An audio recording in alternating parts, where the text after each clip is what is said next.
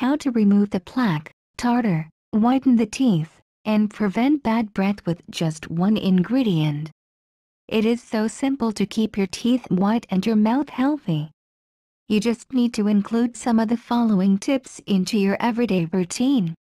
If you love the coconut oil, you can take 1 tablespoon of it and put it into your mouth. Swish the coconut oil about 15 to 20 minutes and then brush your teeth. First tip for this tip you will need baking soda and strawberries.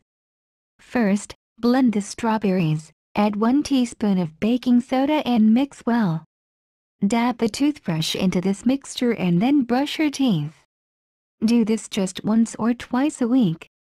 Second tip This tip includes baking soda and apple cider vinegar. Mix these ingredients until you get a paste and apply it on the toothbrush. Don't do this very often because the baking soda can wear out the enamel of the tooth if you do this more than 1 to 2 times a week. Third tip You can use the olive oil mouth rinse.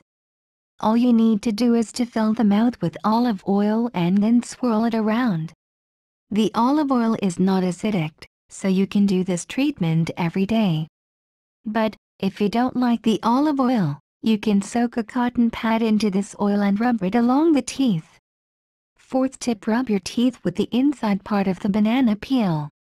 It is a very effective treatment.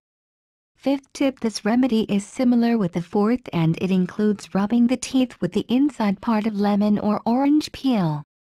Sixth tip Add a pinch of salt on the toothpaste before you brush your teeth. Do this every day and you will get white teeth.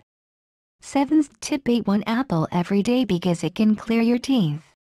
8 tip Use milk in your tea or coffee. The reason for this advice is not only the calcium in the milk, but also it is because the tea and coffee can stain the teeth.